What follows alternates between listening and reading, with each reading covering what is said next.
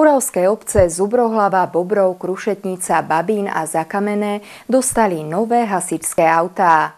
Samozprávam ich odovzdával minister vnútra Robert Kaliňák.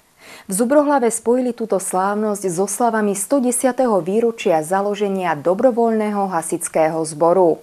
Dobrovoľný hasičský zbor v Zubrohlave má 104 členov. Na Orave je to najvyšší počet dobrovoľných hasičov. Sú tu veľmi zanetení nielen starší, ani tá stredná generácia, ale už máme aj strašne veľa malých hasičov, ktorí dúfajme, že budú pokračovať v tých tradíciách, v tom, ako sme my prebrali po tých našich predchodcov. To 110. výročie pre nás znamená o, hlavne si spomenúť aj na tých, ktorí sú tu už nie a ktorí by boli veľmi radi a hrdí, keby videli za mnou toto dielo, čo sa nám podarilo cez ministerstvo vnútra vybaviť. Najčastejšie zásahy to sú požiare tráv, väčšinou, keď tí ľudia na jar sucho, tak to väčšinou všetko vypalujú, tak také najčastejšie sú požiare tráv, niekedy lesné požiare, ale chodia sa aj e, väčšinou do okolitých obcí, keď sú nejaké zadné stavy, keď je tak e, väčšie nejaké nešťastie. Na oslavy okrúhleho výročia prišlo 10 dobrovoľných hasičských zborov z Oravy, ale aj zo susedného Poľska a z Čiech.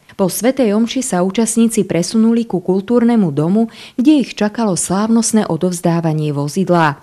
Podujatie neskôr pokračovalo kultúrnym programom spojeným s oceňovaním dobrovoľníkov. Zároveň bola podpísaná zmluva o spolupráci s českými hasičmi z obce Čeladná. Pro nás je to samozřejmě dnešním novinka, protože e, vidíme se poprvé, já doufám, že naplánujeme brzo teda setkání takové neformální a kde si řekneme takové nějaké plány setkávání, kulturní činnost a samozřejmě bude to o tom, že pokud bude jeden či druhý zbor něco potřebovat, tak jsme tady na pomocní navzájem. V tomto požárnom hasickom zbore pôsobím už 55 rokov, presne polovičku od 60. roku ešte pred vojenčinou. Potom v 68.